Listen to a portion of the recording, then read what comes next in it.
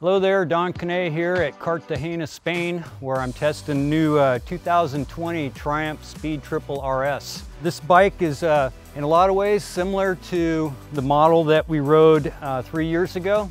Yeah, 2017 here in Spain as well at uh, Circuit Catalunya. Um, what Triumph has done though, they've paid a little extra attention to the engine for this model year. They had to do some updates regarding Euro 5 emissions, which is more of a exhaust emissions. Basically, they had to make a cleaner uh, burning engine and they've succeeded in that goal. They call it their Euro 5 Plus. So I think they uh, overachieved.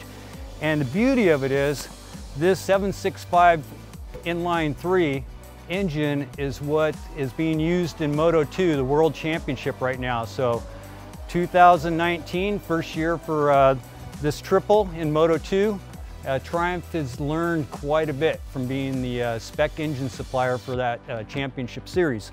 And so some of that engineering has been applied to this powertrain and they've uh, actually increased the mid-range power. They, they were pretty happy with this being a naked street bike. It makes about 123 horsepower.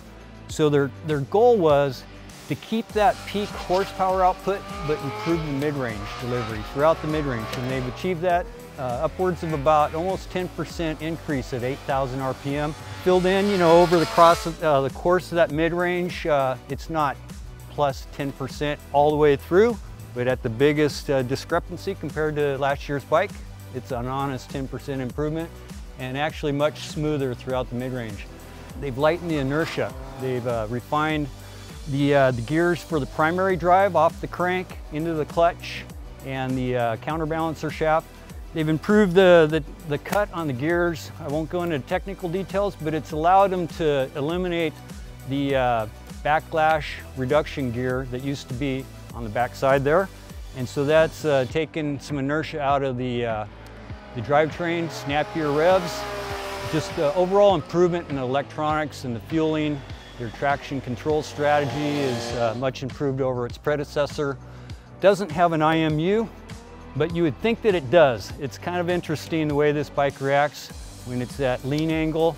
And uh, Triumph's being kind of cagey when I talked to the engineer about how they achieved that.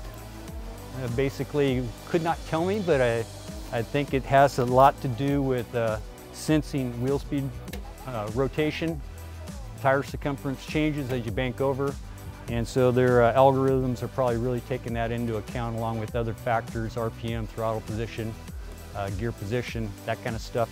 So it kind of feels like the bike knows when it's leaned over and it holds back the power delivery um, if you're entering a TC state, which is more intrusive in rain mode, road mode. Get into sport mode, it's perfect for the street. And then on the circuit here, um, track mode is where it really unleashes the power and lets you let you put it to the ground and drive hard off corners. Uh, really stable out on the road ride today, through the mountain roads, through some towns, a little bit on the highway. You know, so much like its predecessor, super chassis, same suspension components, same uh, geometry, all that's unchanged. Same great Brembo M50 brakes, monoblock calipers, a really good quality master cylinder here, this variable ratio. So that's all pretty much carryover which is good news because it was fantastic before. And now it's uh, got a little more beams to push it off these corners. You know, new styling on the bodywork. It's kind of subtle in a lot of areas. We got some nice touches like the carbon fiber tip on this RS model. It has carbon fiber uh, cap at the end of the exhaust there. New headlight design. It's got daytime running lights that are kind of cool looking. Restyled the TFT dash, new graphics, you have selection, a choice of four different uh, presentations for the uh, dash. So all that, best news is the price remains the same, 12550 in the US. Should be available by Christmas time. Um, so some notable improvements and they kept the price at 12550